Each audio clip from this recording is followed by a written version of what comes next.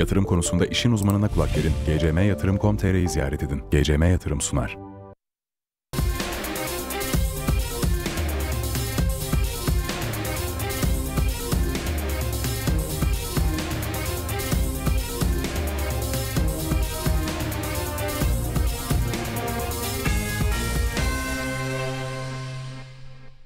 Efendim Eko Türk televizyonları ekranlarından bir kez daha hepinize merhabalar. Hoş geldiniz. Paratoner programı ile karşınızdayız. Yoğun gündem maddeleri var. Borsa İstanbul cephesinde bir miktar yukarı doğru tepki vermeye çalışan bir fiyatlama söz konusu. Değerli konuklarımızla konuşacağız.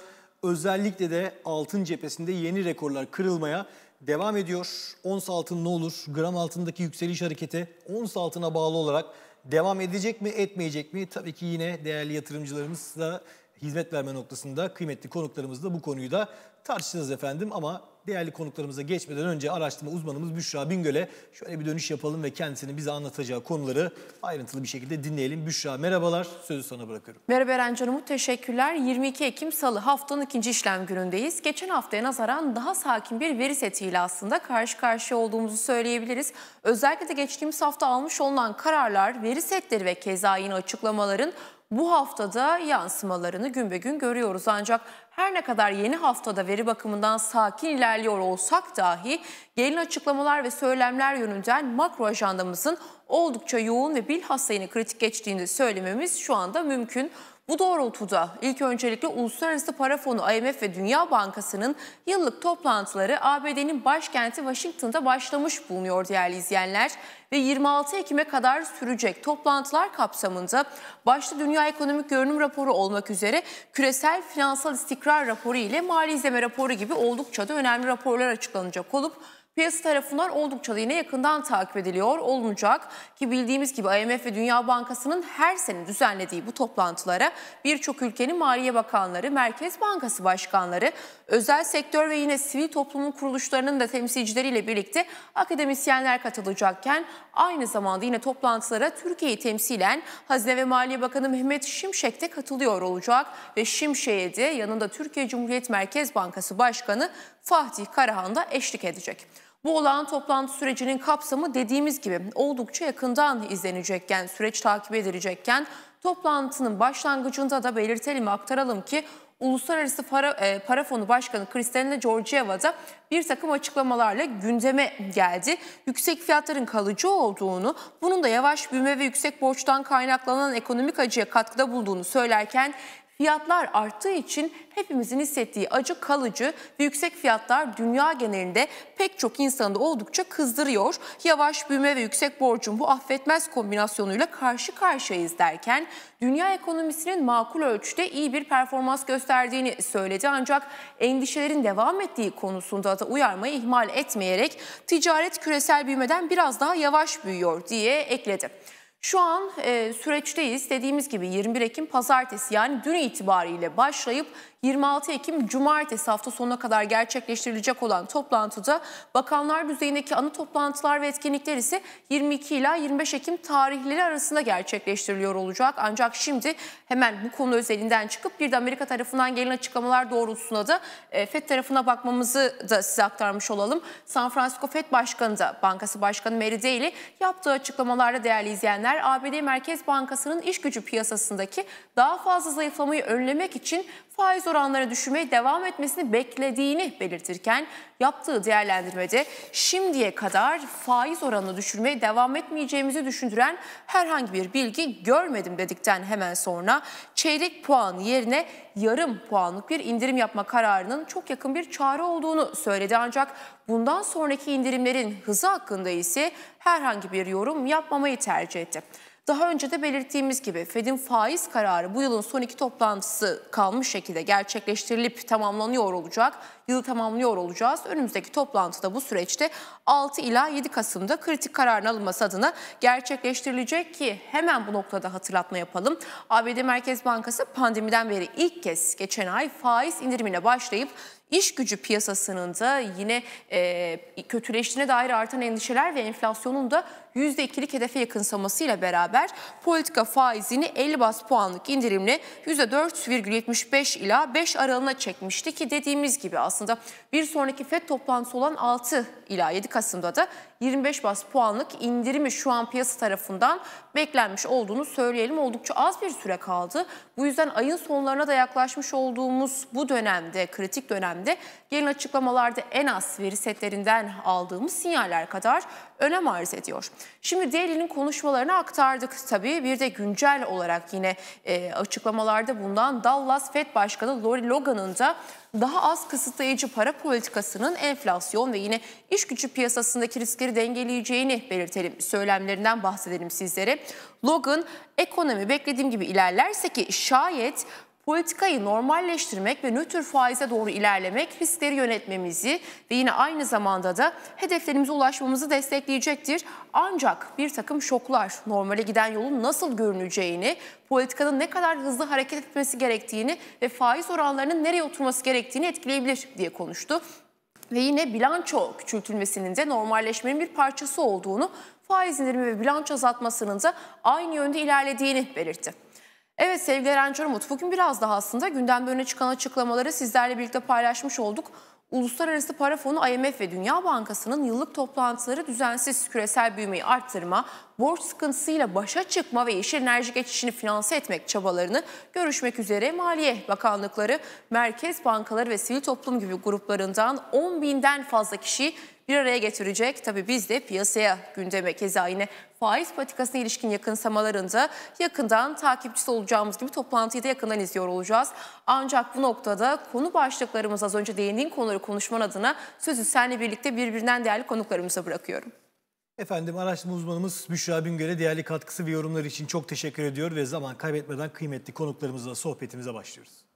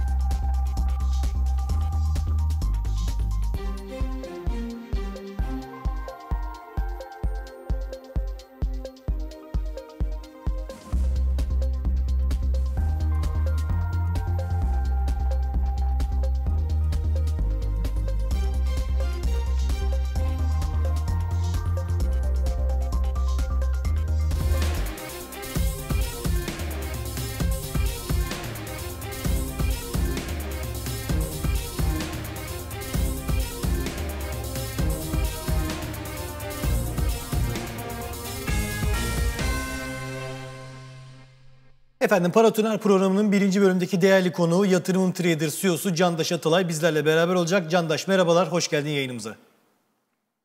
Merhaba Eren, hoş bulduk. Candaş, e, ons altına baktığım zaman 2739 dolar seviyesinde ve yeni rekorlarını kırmaya devam eden bir fiyatlama var. Buradaki yukarı doğru hareketin daha da devam etmesini bekler misin? Yani daha öncesinde 3000 dolarlar bu sene için çok fazla konuşuluyordu. E şimdi son dönemde ciddi bir rally, ciddi rekorların her gün kırıldığını gördükten sonra 3000 dolarlar yeniden konuşulmaya başlandı. Sen buradaki yükseliş hareketinin temel nedeni ve e, ulaşılması e, kuvvetle muhtemel olan teknik seviyeleri nasıl görüyor, nasıl yorumluyorsun? E, altın fiyatları çok uzun bir süredir durdurulamaz bir rally içerisinde. En son böyle bir performansı 1979 yılında göstermiş. Özellikle e, Sovyetler Birliği'nin Afganistan'ı işgali ve petrol krizi sonrasında altın fiyatlarında benzer bir yükseliş hareketi gözlemliyoruz. Bu yola baktığımız zaman 34 kez altının tarihi seviyesini yineleyerek arttırdığını söyleyebilirim. Özellikle son 3 aylık periyotta da neredeyse düzeltmesiz bir yükseliş hareketi içerisinden geçiyoruz. Şimdi hikayeye baktığımız zaman açıkçası çok da fazla fiyatlanacak bir şey kalmadı. Hem ABD'de Fed'in sıkılaştırıcı para politikasının artık tersine çevirmiş olması ve e, faiz indirim döngüsüne başlamış olması ve bu noktada ABD ekonomisinden gelen güçlü veri akışı hem perakende hem de tüketim harcamalarının oldukça güçlü olması ABD ekonomisinin ciddi manada resesyondan uzak kaldığını bize gösteriyor ki bu da Fed'i önümüzdeki dönem atacağı faiz kararlarında biraz daha ılımlı ilerleyeceği noktasındaki beklentileri de ciddi manada kuvvetlendirdi. Bu da altın için negatif bir veri olarak masada duruyor. E, küresel talebe baktığımız zaman da son derece zayıf. Özellikle 2-2,5 yıldır altın fiyatlarını ne ayakta tutuyor? Bunun temel mekanizmasına bakarsak Asya piyasaları özellikle Çin'i söyleyebilirim. Çin uzun bir süredir altın fiyatını tek başına ayakta tuttu. Özellikle 2000 dolar seviyelerinde. Şimdi o tarafta da 120-130 dolara varan ons başı altın primlerinin artık 6 dolarlara kadar gevşediğini gözlemliyoruz ki bu da Çin tarafında da artık altın talebinin son derece zayıf seyrettiğini bizi işaret ediyor. Şimdi 2700 dolarlar seviyesinin üzeri bence altının yani bu seviyeler altının artık ciddi manada yoğun satın alınma, aşırı satın alma bölgesi olarak değerlendirmemiz gerektiğini düşünüyorum ve sağlıklı olanın e, bir düzeltme hareketi sonrası tekrar yeni bir yol hareketi ve yön arayışı olacağının altını çizmekte fayda var. Şu aşamada altın için tek itici unsur biraz jeopolitik riskler ve her şeyden önemlisi ABD tarafındaki başkanlık seçiminin e, biraz belirsizlik riski fiyatlar içerisinde e, bu noktada biraz daha seviyenin genişletmesine yol açıyor. Fakat e, gün sonunda da artık Kasım ayına da gel, e, yaklaşmış bulunuyoruz. Bu noktada da artık Trump'ın da e, ciddi manada anketlerde öne geçtiğini de söyleyebiliriz. E, Trump'ın olası seçilmesi demek özellikle Çin ile olan kur savaşları ve ek vergi yaptırımları ile birlikte kuşkusuz daha güçlü bir doları bize işaret ediyor ki daha güçlü bir dolar daha zayıf bir altın fiyatını işaret ediyor. Yani teker teker göstergelere baktığımız zaman hem merkez bankalarının talebinin zayıflamış olması hem Asya piyasalarının talebinin zayıflamış olması, altının düzeltmesiz bir şekilde 2700 seviyelerin üzerine gelmiş olması ve fiyatlanacak hikayelerin de hemen hemen hepsinin tüketildiği bir ortamda bu noktadan sonra altında pozisyon almanın en azından kısa vadeli pozisyon almanın son derece riskli olduğunu düşünüyorum. Burada bireyler kendi risk getiri tercihlerine göre bir karardan e, karar mekanizması içerisinde bir portföy dağılımı yapacaklardır kuşkusuz. Fakat e, ben bu noktada artık bu fiyat seviyelerinden altında önemli ölçüde bir düzeltme, %8, %10'a varan bir düzeltme hareketi sonrası yeniden pozisyonlanmayı daha sağlıklı görüyorum. 3000 dolarlar seviyesi için bence bu sene erken yani çok optimist bir bakış olur. 2025 yılı için 2025 yılının 3. çeyreği için belki 3000 dolarlar seviyeleri daha sağlıklı bir altın fiyatı için bence daha e, makul bir seviye gibi görünüyor. Peki e, gram altın yatırımcıları nasıl yönlendirmek lazım? Çünkü e, gram altın yatırımcıları oldukça mutlu. Hani borsaya yatırım yapacaktım, yapmadım. Mevduata yatıracaktım, yapmadım. Altın aldım, iyi ki de almışım diyen çok fazla kitle var. E, ama e, gelmiş olduğumuz noktada işte az önce dedim ya 2800 dolarlar, 3000 dolarlar çok fazla konuşuluyor ama sen %8'lik ve %10'luk bir e, düzeltmeden de bahsediyorsun. Dolayısıyla elinde gram altını tutan yatırımcılar için nasıl bir yönlendirme, nasıl bir yorum yapmak lazım şu anda? E, gram altın e, ons tarafından çok ciddi manada pozitif etkilendi. Bununla birlikte özellikle Türkiye'de altın ithalatına uygulanan kota sebebiyle de fiyat ayrışmasından dolayı da son derece pozitif getiri elde ettiklerini söyleyebilirim. E, yurt dışı piyasalarla Türkiye'deki ons fiyatı arasında yaklaşık 120-130 dolara varan bir primden bahsediyoruz ki zaten hali hazırda yerli yatırımcılar bir ons altını yabancılara göre 130 dolar daha yüksek bir maliyetle elde etmiş oluyorlar. Bu tarafta dolar TL'nin çok uzun bir süredir neredeyse sabit hareket ettiğini de altını çizmekte fayda var. Sadece ons taraflı gelen bir yükseliş hareketi. Bu yıl için 3300 TL seviyeleri ben gram altında ulaşılabilir hedef olarak sene başından beri altını çizdiği bir seviyeler. E, Kasım ayı gibi de buraları e, geçeceğini en azından geçmekte bir zorluk yaşayacağını düşünmüyorum. Fakat Kuşkusuz ONS tarafından gelecek bir düzeltmeyle birlikte gram altın tarafında da ben maliyetlenmek için daha uygun seviyelerin beklenmesi tarafındayım. Özellikle şu aşamada e, hem gram tarafında hem de ons tarafında altın fiyatlarında bir aşırı satın alma bölgesinde olduğumuzu düşünüyorum. Düzeltmesiz ve son derece yoğun bir yükseliş hareketinden bahsediyoruz ki yeni gelecek hikayelerin de bu yükselişi daha nereye kadar götürebileceği noktasında bir emare de yok elimizde. Çünkü jeopolitik risklerden faiz indirimlerine kadar her şeyin fiyat içerisinde yedirildiği bir e, veriden bahsediyoruz. Bu tarafta da özellikle 3000 TL seviyeleri, 3000'in altına e, oluşan her gevşemenin ciddi manada bir satın alma fırsatı vereceğini düşünüyorum. Özellikle orta ve uzun vadede en azından 6 aylık ve 9 aylık bir portföyden bahsediyorsak gram altındaki her gevşemenin yeni satın alma için son derece pozitif bir potansiyel teşkil ettiğini de altını çizmekte fayda var. Özellikle önümüzdeki yıl kur tarafında da bir, bir miktar zayıflamayla birlikte ons tarafından da kısmi gelecek bir yükseliş hareketinin etkisiyle birlikte gram altın tarafında 2025 yılı için son derece ciddi bir potansiyel var. Özellikle 4500-5000 TL seviyeleri gram altın için 2025'te şaşırtıcı seviyeler olmayacak. Peki gümüşle alakalı nasıl bir yorum yapmak lazım? Çünkü e, gümüşte de çok ciddi bir e, yukarı doğru hareketlenme oldu. Ee, daha bir resesyona duyarlı, daha bir ekonomideki çarkların dönüş hızına duyarlı bir emtia olduğunu biliyoruz. Çünkü sanayi emtiyası olarak da geçiyor. Ama son dönemde özellikle de Çin'in e, ekonomiyi destekleyen adımları, Amerika cephesinde resesyon tehdidinin olmadığının görülmesi, Avrupa cephesi zaten kendi çapında e, resesyon tartışmalarına e, yıllardır konu olan bir e, ekonomik birlik. E, dolayısıyla tüm bu gelişmeler dahilinde altındaki sert rally gümüşe de yansıdı. Gümüş fiyatlarını resesyon beklentileriyle harmanlayıp değerlendirdiğimizde nasıl bir analiz, nasıl bir yorum yapmak lazım sence Candaş? Ya aslında piyasada bilinen gerçeklerle çok fazla açıklayamadığımız bir fiyatlama mekanizmasında e, geçtiğimizde altını çizmekte fayda var. Nedir? Artan faiz oranlarına rağmen hem altın hem de gümüş fiyatlarında ciddi manada bir yükseliş gözlemliyoruz. Şimdi ABD'de enflasyondan ayrılmış TIPS getirilerine baktığımız zaman son 3 haftada 23 bas puanlık bir artıştan bahsediyoruz ki 1.82 seviyesinde işlem görüyor TIPS'ler. Yükselen e, faiz oranlarına rağmen altın ve gümüşün de buna eşlik ettiğini, normalde ters koreli olmasına rağmen düzeltmesiz bir yükseliş hareketinden geçtiğini gözlemliyoruz. E, tabii ki bu bir yerde bu döngünün kırılmasını bekliyoruz. Özellikle gümüş fiyatları için altına ayrıştırmak gerekirse 2025 yılı için son derece pozitif olacağını düşünüyorum. Çünkü uzun bir süredir hem altına göre adil değerinin son derece altında ve göreli ucuz fiyatlandı. E bununla birlikte altındaki hikayenin bir, bir miktar daha tüketilmesiyle birlikte gümüş fiyatlarında ciddi manada bir potansiyel ortaya çıkacağını da söyleyebiliriz. Son LBMA toplantısında özellikle uluslararası piyasa katılımcıları ve banka ve rafinerilerin de beklenti, beklenti kompozisyonunu da dikkate alacak olursak 2025 için 45 dolarlar seviyesi sektör oyuncuları tarafından telaffuz edilen ana hedef olarak şu aşamada masada duruyor.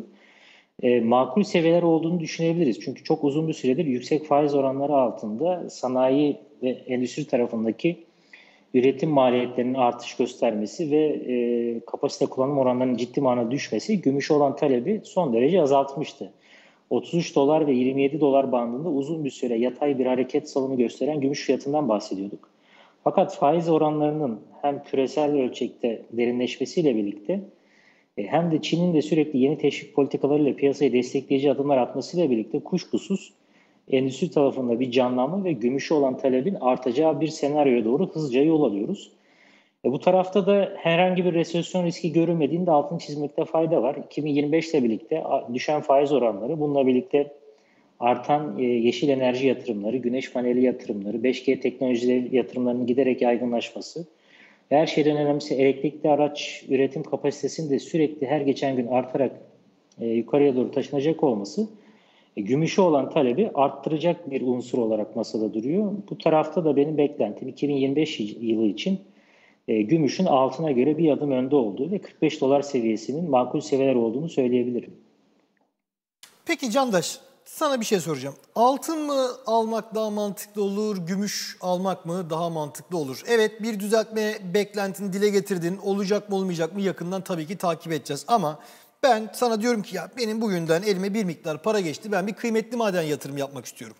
Dolayısıyla 2800 dolarlar konuşuluyor. En kötü ben o seviyelere kadar yükseliş hareketinde yakalamak istiyorum. Diyelim ki olacak. Ama altın ile gümüş arasında kararsız kaldım. Ya da biraz da orta vadeli bir yapıya baktığımız zaman 2025 yılını da bu soruya e, dahil ediyorum. Hangi e, emtianın altının mı gümüşün mü daha fazla ön plana çıkmasını beklemek gerekiyor? Ee, ya iki emtia için de ben şu aşamada satın alma kararının ciddi manada risk teşkil ettiğini düşünüyorum. Düzeltmesiz e, ve hikayesi tüketilmiş çok yoğun bir aşırı satın alma bölgesinde olup fiyatlandıklarını düşünüyorum. Bu noktada altın tarafında 3000 TL ve 3000 TL'nin altına olacak her ufak sarkma hareketinde ciddi manada satın alma fırsatı verdiğini altını çizmekte fayda var. Bu noktalarda toparlanabilir.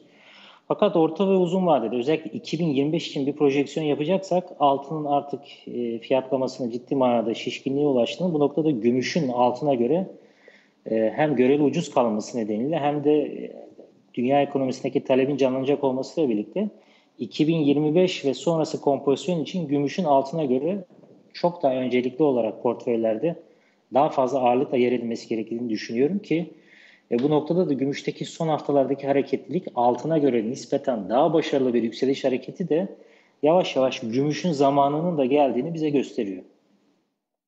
Peki diğer taraftan altına olan merkez bankalarının talebinin nasıl devam ettiğini görüyorsun. Bir ara biz Çin'i çok konuşuyorduk. Seninle en son yapmış olduğumuz e, yayında da bu soruyu sormuştum ama e, o günden bugüne biraz da zaman geçti. Şimdi altını destekleyen unsurları sayıyoruz işte Fed'in faiz politikasında e, yumuşak hareket edeceği gibi. İşte jeopolitik tansiyon, en son e, Çin'in e, dünya tarihindeki e, silahların yani ateşli silahların katılımıyla e, yapılan bir rekor e, çalışmaları söz konusu. E, dolayısıyla da bu tarz tatbikatlara gitmesiyle Çin'in acaba yakın bir gelecekte işte Çin, Tayvan ve Amerika'nın da olaya müdahale olacağına ilişkin negatif beklentinin oluştuğunu görmekteyiz. E, İran-İsrail meselesi de keza. Yani altın aslında temel olarak destekleyen dinamikler var. Yok değil ama diğer taraftan merkez bankalarının alımlarının nasıl seyretmesini beklersin. Oradaki alımların kuvvetlenmesiyle gerçek manada bir e, yeniden kuvvetli tonda yükseliş hareketi olabilir mi kıymetli metalde? Merkez bankalarının satın alma e, projeksiyonları fiyat hassasiyetinden bağımsız olarak özellikle Rusya-Ukrayna savaşından sonra ciddi manada değişiklik gösterdi. Rezervlere baktığımız zaman dolarsız e, dolardan kaçma eğiliminin hızla arttığı ve altına yönelimin çok fazla yükseldiğini söyleyebiliriz. Bunun temel sebebi de senin az önce ifade ettiğin gibi özellikle bu coğrafyadaki her ülkenin ya komşusuyla ya farklı bir ülkeyle ciddi manada bir hesabı ve planı olduğunu gözlemliyoruz. Şimdi bu noktada e, Rusya'nın başına gelenler de ortada. Uluslararası rezervlerinin e, bir gecede dondurulması ve bloklanması da Rusya'yı ne kadar zor duruma düşürdüğünü de gözlemliyoruz ki bu ülkeler de buradan çıkardıkları derste kuşkusuz biraz daha bağımsız ve rahat hareket edebilmek için rezervlerinde biraz daha dolar ve dolar bazı e, ABD tahvillerinden kaçınma ve biraz daha merkeziyetsiz dediğimiz altına yönelik eğilimin arttığını gözlemliyoruz. Çin ve ABD arasında kuşkusuz Tayvan kaynaklı bir karşı karşıya gelme olacak. 5 veya 10 yıllık bir projeksiyon dahilinde değerlendirebilirsiniz. Bugünden yarına da bu tamamen sizin e, küresel e, gerginliklere okuma e, derecenizle alakalı bir durum.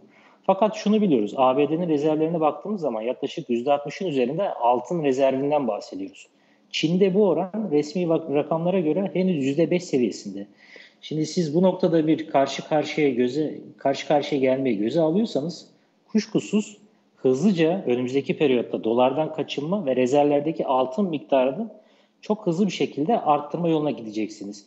Şimdi zaten e, satın alma alışkanlıklarına baktığımız zaman da son iki yıldır Çin'in tek başına altın piyasasını sürklase ettiğini söyleyebiliriz. Hem Merkez Bankası tarafından hem de bireysel ve kurumsal yatırımcılar tarafından Son iki yıldır altın fiyatını tek başına Çin ayakta tutuyor ve bunun da artarak devam etmesini bekleyebiliriz. Fakat gelmiş olduğumuz noktada e, son 2-3 aydır hem fiyatların çok fazla aşırı yükselmiş olması hem de hikayenin biraz tükenmiş olması sebebiyle merkez bankaları tarafında da satın almalar her ne kadar devam etse de satın alma hızının geçtiğimiz yıllara göre ciddi manada yarı yarıya yavaşladığını da altını çizmekte fayda var.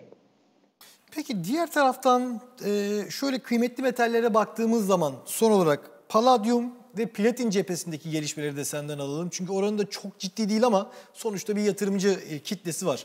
Oradaki durum ne? Çünkü az önce dile getirdin ya resesyon ilişkin beklentiler de ciddi anlamda rafa kaldırılmış gibi duruyor. Bu durum platin ve paladyumu yukarı doğru tektikliyor mu? Yoksa hala Rusya'ya ilişkin e, gelişmeler sebebiyle e, yine zayıf bir e, seyrin devam etmesi beklenir mi sence? E, kuşkusuz e, talebin canlanacak olması, faizlerin düşecek olması bu taraftaki metallere de nispi de olsa biraz talep gelmesini ve fiyatın yukarı yönlü hareketlenmesi gerçekliğini karşımıza çıkaracak. Fakat yüksek montanlı yükseliş hareketleri için özellikle platin grubu metallerinde Rusya-Ukrayna krizinin çözülmesinden başka bir seçenek olmadığını düşünüyorum. Çünkü platinin, platin grubu metallerinin ana belirleyicisi şu an Rusya konumunda dünya genelindeki toplam rezervlerinin %30'una sahip ve ABD'deki platin paladyum madenlerinin de birçok hissedarının Rus devlet şirketi kaynaklı e, hem şirket hem de bireyler olduğunu gözlemliyoruz. E, dolayısıyla platin ve paladyum grubu metallerinde bir yukarı yönlü sağlıklı ve yükseliş hareketinden bahsediyorsa tekrar 2500-3000 dolar seviyesi için Rusya-Ukrayna savaşının çözümlenmesi, Rusya'nın izole edildiği dünya piyasalarına tekrar entegre olması en azından Londra Platin ve Palladium Külçe Piyasası Birliği'ne tekrar entegre olup Rus rafinerisi ürünlerinin bu noktada işlem görme kapasitesinin tekrar başlamasıyla birlikte platin ve palladium grubu metallerde bir miktar daha canlanma gözlemleyebiliriz. Bunun için erken olduğunu düşünüyorum. Faizlerin indirilmesi bir miktar etki sağlayacaktır kuşkusuz. Fakat 2000 ve üzeri 2000 dolar ve üzeri fiyat hareketlenmeleri için çünkü çok uzun bir süredir bu iki metal baskı altında kaldı 2026'ları e, en erken 2026'lar olduğunu düşünüyorum. En azından Rusya-Ukrayna savaşının gidişatından bu çıkarıma varabiliyorum. Efendim Yatırımım Trader CEO'su Candaş Atalay'a değerli katkısı için çok teşekkür ediyor ve kısa bir reklam arasına geçiş yapıyoruz. Bizden ayrılmayın.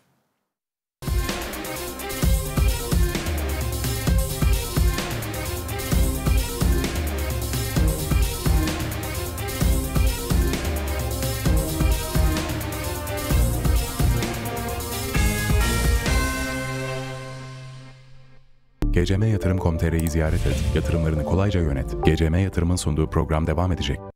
GCM Yatırım.com.tr'yi ziyaret et, yatırımlarını kolayca yönet. GCM Yatırım'ın sunduğu program devam ediyor.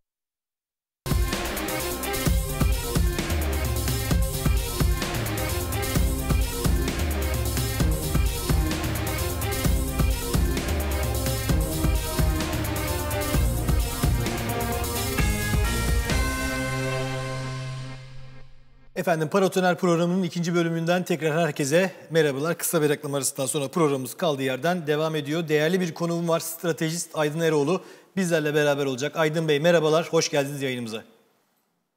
Teşekkür ederim, iyi yayınlar Erencan Bey. Çok teşekkür ederim.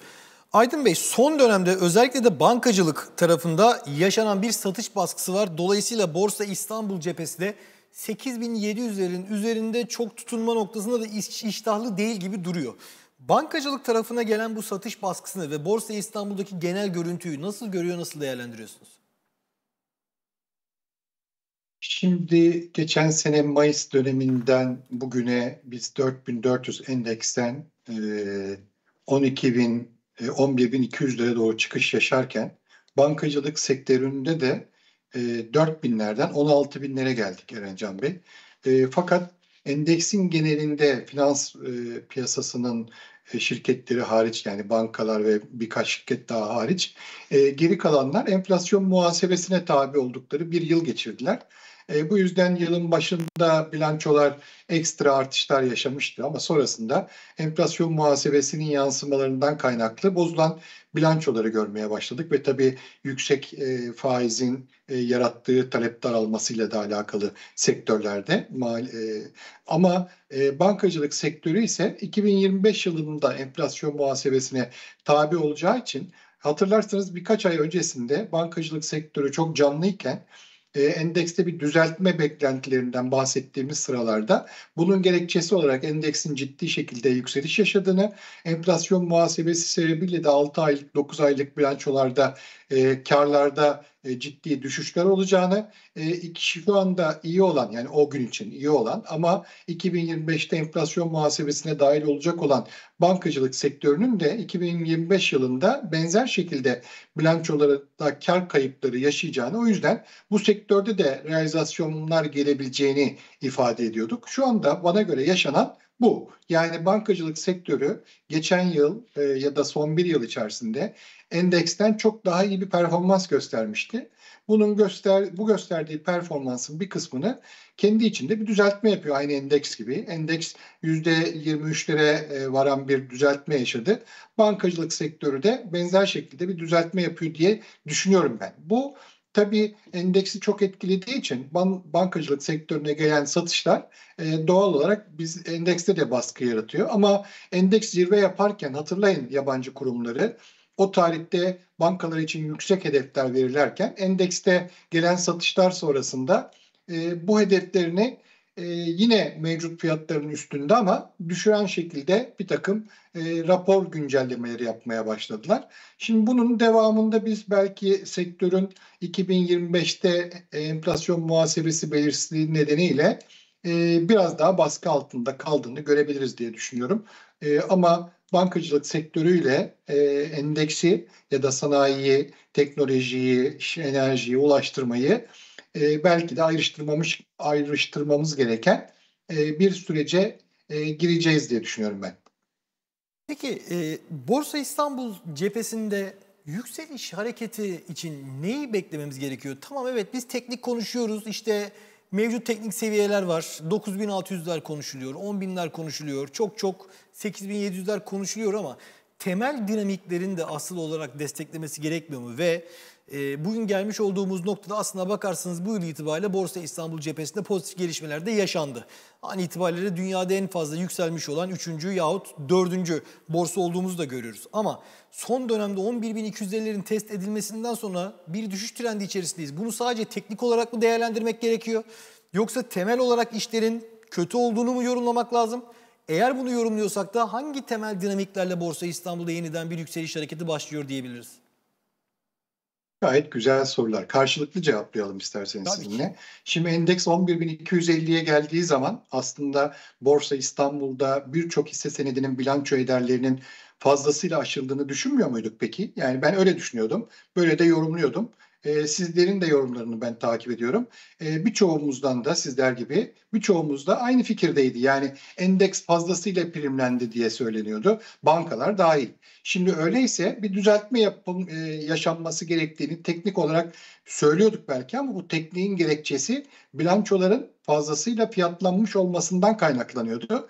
Kaldı ki e, istikrarlı para politikasında dönebilmek için kararlı e, faiz politikası uygulamasıyla faizler %50'ye çekildiğinde bunun kredi maliyetleri de kredi faizleri de ciddi boyutta yükseldi. Hem borsa için hem sanayi şirketleri hem bütün sektör şirketleri için. Bu doğal olarak e, kredi maliyetlerinin artması nedeniyle de talepte bir azaltma yaratabileceğini zaten dile getiriyorduk. Yani işin temel kısmı da buydu. Peki e, enflasyon hala yüksek olmasına rağmen geçen ay e, aylık bazda 2.97 ile beklentinin üstünde gelen bir enflasyona sahibiz. E, ki bu bir tedirginlik yarattı. Devamında da benzer e, yüksek seyir acaba sürer mi diye. E, böyle bir ortam varken biz e, yeni yıla başlamadan bir faiz indirimini doğru görmediğimiz halde Hatırlayın e, Eylül enflasyonu tüfesi açıklanmadan evvel piyasada ciddi şekilde acaba faiz indirimleri e, Ekim'de başlar mı, Kasım'da başlar mı, 1 mi olur, 2 mi olur, 3 mü olur diye bir algı yaratılmaya başlandı. Şimdi biz aylık bazda enflasyonda e, düşüş görmediğimiz halde e, böyle bir algı e, yaratıp sonra da Eylül ayında e, aylık bazda artan bir tüfe faizi görünce, e, tüfe enflasyonu görünce e, morallerimiz bozuldu. Endeks e, Merkez Bankası faiz indirimlerine e, bu yıl e, indirimlerini yapmayabilir e, diye bir moral bozukluğuyla bir realizasyon yaşamaya başladık. Bu işin temel kısımları. Yani aslında e, bilançoların biz hemen düzelmesini beklemiyoruz. Niçin beklemiyoruz? Enflasyonu düşürebilmek için uygulanan faiz politikası sanayide ciddi bir daralma yaşat, e, yaşatmış durumda. E, ama henüz e, hizmet sektöründe ve taleplerde, tüketim taleplerinde bu daralmayı biz görmüyoruz. E, görmediğimiz için Merkez Bankası'nın e, yüksek faiz politikasının e, yıl sonuna kadar daha sürme riski, sürme ihtimali çok güçlü. Yani piyasada e, faiz düşüşü erken başlayacak insanlar için bu risk. Benim düşüncem ise e, 2025'ten evvel başlamaması gerekir e, görüşüme paralel bir gelişme olarak gidiyor. Şimdi böyle baktığımız takdirde e, borsanın yerli yatırımcısı için çok ciddi bir alternatif yüksek mevduat faizi ve altın e, yatırımı e, rekabeti var. Şimdi hal böyleyken e, biz borsaya yatırımcıların çok hızlı gelmesini, e, te, Türk bazında yatırımcıların hızlı gelmesini zaten beklemiyorduk. Beklediğimiz ne vardı? Benim de bu düzeltmenin dönüşünde e, iddia ettiğim e, gelişmenin sebebi e, ben e, uygulanan politikalar sebebiyle enflasyonda Kasım'dan itibaren düşüşün görülmeye başlanacağını, 2025'in başından itibaren de bunun faiz indirimlerini e, getireceğini, getirmesini bekliyorum. E, bunu e, böyle bir istikrarlı program uygulanmasından dolayı bu dönüşümün e, sonraki vadede bilançoları da düzeltme beklentisiyle yabancı yatırımcıyı yerli yatırımcıdan çok daha erken piyasaya, borsaya sokacağı beklentisindeydim. Yani burada kriter e, yabancının borsaya girmesi olması gerekiyordu Erencan Bey. Bu aslında birkaç defa denendi. 9400'e gelen endekste 10.195'e kadar e, yabancı alımının da Aydın desteklediği Bey, bir yükseliş Aydın Bey, gördük. Çok özür diliyorum, çok özür diliyorum. Cumhurbaşkanı Recep Tayyip Erdoğan AK Parti genişletilmiş iş baş e, iş başkan il başkanları toplantısında konuşuyoruz, izliyoruz.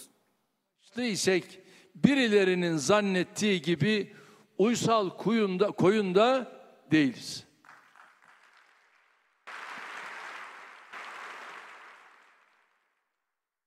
Haksızlık, hukuksuzluk, küstahlık karşısında kesinlikle sessiz kalamayız. Mesela İstiklal Marşımızda sorunu olanlara ve demokrasimizin altını oyanlara eyvallah demeyiz. İster bara olsun, ister avukat olsun, ister siyasetçi, ister gazeteci kılıklı terörist seviciler olsun, şiddeti övenlere, şiddeti bir hak arama yolu olarak görenlere, yedeğine silahı, terörü alarak siyaset yapmaya kalkanlara müsamaha ile yaklaşamayız.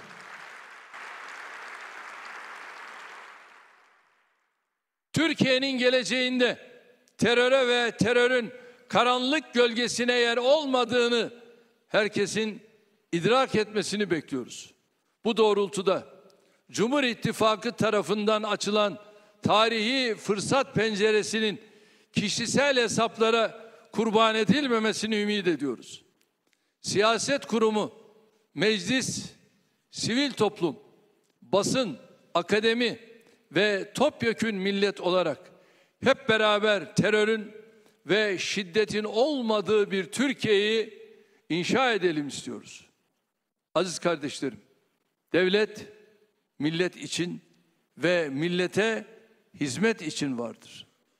Devletin görevi özellikle güvenlik, adalet, eğitim ve sağlık alanlarında vatandaşına imkanlar dahilinde en iyi hizmeti sunmaktır. Bakınız bu temel konularda zafiyeti olan bir devlet vazifesini hakkıyla yerine getiremiyor demektir. 2002 yılı sonunda ülkeyi yönetme mesuliyetini üstlendiğimizde öncelikle hizmet alanlarımızı sağlık, eğitim, adalet ve emniyet olarak belirledik. Bugüne kadar da bu hassasiyetimizden kesinlikle taviz vermedik. Bilhassa sağlık alanında gerçekten kötü bir Türkiye tablosu devralmıştık. Hastane bulunsa doktor bulunmuyor. Doktor bulunsa ilaç bulunmuyordu. Bir şekilde ilaç buldunuz. Bu sefer satın alacak para bulunmuyordu. Yaşı kırkın üzerinde olan kardeşlerim eski Türkiye'nin sağlık sisteminin nasıl bir sorunlar yumağı olduğunu gayet net hatırlamaktadır. Son 22 yılda bu alanda tam anlamıyla bir devrim gerçekleştirdik. Sağlık sistemini vatandaş odaklı değiştirirken yeni hastaneler, yeni sağlık ocakları inşa ederek, mevcutları ıslah ederek altyapıyı modernleştirdik. Evet efendim Sayın Cumhurbaşkanı Erdoğan'ın yapmış olduğu konuşmayı dinledik. Kendisi konuşmaya devam ediyor. Önemli bir gelişme olsa tekrar dönüş yaparız. Stratejist Aydın Eroğlu'yla e, sohbetimize devam ediyoruz. Aydın Bey e, sözünüzü kesmek zorunda kaldım malum e, Cumhurbaşkanı Estağfurullah, konuşması. tabii ne demek. Buyurunuz efendim söz sizde. Yani bizim nihayetinde bilançolar Türkiye'de henüz daha düzelmeden, enflasyon tam düşmeden, faizler inmeye başlamadan endeksin düzeltme desteklerini bulup da yukarı dönmesiyle alakalı beklediğimiz yabancı girişleriydi. Fakat e, işte e, 9400'den sonra 11195'e kadar çıkan bir yabancı alım destekli desteğiyle de yaşanan e, yükseliş esnasından sonra e, bölgemizde bir jeopolitik riskler arttı. E, öncesinde Maliye Bakanı'nın e, istifası ya da görevden alınmasıyla ilgili bir manipülasyon piyasayı bozdu. Akabinde jeopolitik riskler anlamında İsrail, İran'a, Lübnan'a, Suriye'ye müdahaleler yapmaya başladı ki Lübnan'a şu anda ciddi bir Lübnan'la karşılıklı işte savaş hali Lübnan'a karşı ciddi müdahaleleri var. İran'a karşı da misilleme yapacak mı yapmayacak mı e, riskleri var. Bu esnada biz bunun haricinde e, tam böyle bir jeopolitik risklerin arttığı dönemde İsrail'in yeni hedefi Türkiye'dir diye önce Cumhurbaşkanı'nın danışmanından sonra Cumhurbaşkanımızın kendisinden son birkaç gündür de Dışişleri Bakanı'ndan e, açıklamalar duyuyoruz. Şimdi e, bu ülkede yaşamayan, biz bu ülkede yaşayan insanlar olarak yatırım yaparken bu tarz açıklamalardan tedirgin olabiliyorsak bu ülkede yaşamayan e, ve ille de bu ülkeye yatırım yapmak zorunda olmayan yabancı yatırımcıların e, tedirgin olup olmayacağını düşündüğümüz takdirde bana göre fazlasıyla tedirgin olabilirler bu açıklamalardan diye düşünüyorum. O nedenle de e, işte düzeltme esnasında ilk 9400'e geldiğinde e, e, %37.50'ye düşen e, 11.250'de 40.02 iken 37.50'ye düşen yabancı takas payı e, yeniden e, biz 11.195'e doğru çıktığımızda %39.70'lere kadar çıkmış e, çıkmıştı ama son dönemde biz yabancının da e, yeniden satışa döndüğünü görüyoruz ki şu anda 37.47'lerde. Ben bunun ilk 37.50'lere düştüğünde 36.5'lara bu düzeltme esnasında sonra da belki 35'lere kadar düşebileceğini bekliyordum ama e, beni yanıltıp 39-70'lere kadar bir ara yükseliş yaşamıştık. Şimdi burada durum şu e, biz yabancılarla burada e, yerliden daha evvel endekse destek olabiliriz diye düşünürken e, şu anda bunun e, yaşandığını görmüyoruz ama e, Türkiye'de enteresan gelişmeler de olmaya devam ediyor. E, Meclis Başkanı çıkıp anayasanın üçüncü maddesi tartışılmalıdır diyor. E, son olarak Devlet Bahçeli e, mecliste DEM Partisi'nin e, eline sıkıp yeni bir süreç başlatmışken bugün de e, tecriti kalksın e, Öcalan terörist başı meclise gelsin. E, pek örgütü ettiğini, terörizmin bittiğini ilan etsin tarzında bir açıklamada bulundu. Şimdi burada demek ki bir şeyler oluyor Erencan Bey. Yani biz belki her şeyi tam duymuyoruz, görmüyoruz ama ya e, bunların söylenmesiyle alakalı çok ciddi devletin üst kademesinde farklı jeopolitik tedirginlikler var ya da Türkiye e, işte seçimlerle e, siyasi mecrada gelinen ekonomik sıkıntılar dolayısıyla yeni bir çıkış arıyor kendisine. E, bunun yansımalarını görüyoruz. Bu sanırım bir süre daha e, anlaşılana kadar neticenin ne olduğu, sebebin ne olduğu anlaşılana kadar biraz bizde tedirginlik yaratacağız, yaratacak gibi duruyor. Endeksin e, benim düşündüğüm 8700 desteği önemli bir destek bölgesi. Ben e, bu ve altındaki seviyelerde endekste hisse pozisyonlarının arttırılmasını e, doğru görüyorum. E, olur da altı doğru kayarsak e, 8500, 8200 hatta 7900 civarında alt destekleri görme risklerimizin halen olduğu kanaatindeyim. Normalde 8700'ü e, dönüş desteği olarak görüyordum ama son gelişmelerde e, tekniklerde böyle bir görüntü var. E, bu tabloyu E, kısa vadede 8960'ın e, biraz daha ötesinde 9200'ün üstüne e, kendimizi atabilirsek bozarız. Ama bunu başaramadan 8700'ün altına inersek ki şu anda 6000 8687 ile bu seviyenin altındayız. Satışların kısmen e, bir takım tedirginliklerden dolayı artarak sürdüğünü de görebiliriz diye düşünüyorum Erencan Bey. Peki diğer taraftan e, enflasyon muhasebesi ile alakalı çalışmaların yapıldığını biliyoruz. Bu çalışmalar eşliğinde nasıl bir bilanço ya da bu çalışmalar onaylanacak mı? Gerçekten piyasa dostu e, enflasyon muhasebesinin biraz daha tırpanlanıp bilançoları daha iyi gösteren bir çalışma yapılacak mı? Ya da bu çalışmalar nihayete e, ererse ve piyasa dostu bir görüntü oluşursa bu Borsa İstanbul'da yeni bir yükseliş hareketinin tetiklenmesinin önünü açar mı sizce? Açar tabii ki ama bu dönüşler, bu e, geri dönüşler aslında çok da olumlu değil. Yani kararsızlığınızı gösteriyor sizin. Bir şey için karar alıyorsunuz, e, sonra dereyi geçerken e, geri dönmeye kalkışıyorsunuz. Şimdi bunları artık yapmak ne kadar doğru ya da değil. Asıl bir de bunları tartışmak lazım. Çünkü bizim şu anda bilançolarla alakalı en önemli problemlerimizden bir tanesi yani sanayi şirketleri e, ciddi şekilde kendilerine belki yaşanan e, gelişmelerde e, düzenlemeler çekiyorlar ama asıl e, kamunun ciddi tasarruf yapması gerekirken kamuda bu tasarrufu görmüyoruz. Yani alımların başlamasıyla alakalı enflasyonun yanında bir de kamuda da tasarrufların görünmesi lazım. Biz bunları görmüyoruz. Şimdi bu esnada hal böyleyken e, bilançolar enflasyon muhasebesinden geri adım atıldığında belki bir dönüş söz konusu olur. Ama e, acaba bu kararlı tutumumuzu da e, olumsuz yönde etkilemez mi? Bunu da düşünmek lazım. Şimdi kamuda tasarruf yapması gereken, kazanan herkesten vergi alması gereken bir maliye e, ve maliye politikaları olması gerekirken Maliye Bakanımızın e, geçen gün açıklamalarını sanırım sizler de okumuşsunuzdur ya da dinlemişsinizdir. E, bir işte şahıs son bir yıl içerisinde e, 30 küsur daire almış 60 bin liranın üzerinde e, araç alan sayısız e, kişiyi görüyoruz. Fakat baktığınız zaman bunların hiçbirinin vergi kaydını görmüyoruz diyor. E, bir başka bir örnekte de bir arkadaşının e, berberde 2500 liralık faturasını kredi kartıyla ödemeye kalktığı zaman e, nakit ve IBAN e, istendiğini, bu olmayınca da üzerine 500 lira fark konup 3000 liralık bir kredi kartı ödemesi yaptığını, e, denetime gittikleri zaman da e, önceden e, haber verdikleri müşterilerinin o hafta boyunca gelmediğini, daha az sayıda müşteri gösterildiğini ifade ediyor. Yani bunu ben söylesem belki anlaşılır ama e, maliyenin başındaki olan bir kişi e, bunu maliye denetimi olarak e, gitmeden normal bir müşteri olarak da doktorlar, e, heki, işte dişçiler, e, işte ne bileyim e, kuaförler, e, işte psikiyatristler, e, kredi kartıyla ödeme yapmak zorunda, ödeme almak zorunda kalmayan bütün yerlerde normal bir vatandaş gibi yapmaya kalkıp e, bu yaşanan vergi kaçaklarını yakalayamaz mı? Fazlasıyla yakalar. Bunun dışında biz yıllardır e, vergi vakti geldiği zaman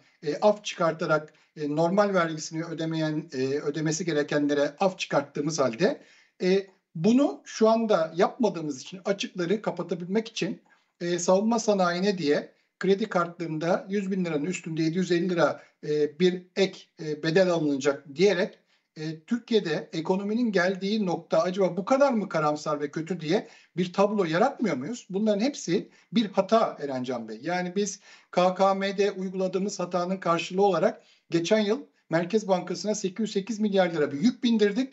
E, bugün de e, işte dün e, eski bakan e, Zeybekçi'nin açıklamalarından EYT'nin e, bu yıl için Türkiye yükünün 800 küsür milyar lira, önümüzdeki yılda 1.2 trilyon lira olacağını söylüyor.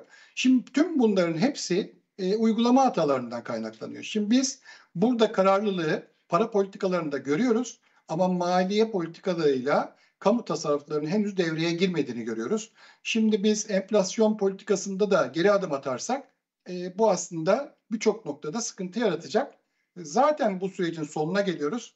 Bence e, kararlılığı devam ettirmemiz 2025'ten itibaren de zaten enflasyon politikası şirketlerde normale dönüşeceği için e, bilançolarda normale dönecektir diye düşünüyorum Eren Bey.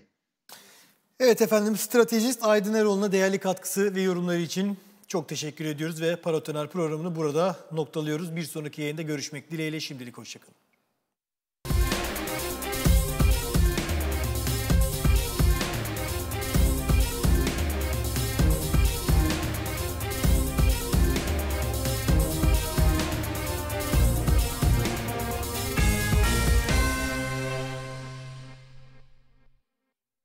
Kulakların GCM Yatırım.com.tr'yi ziyaret edin. GCM Yatırım sundu.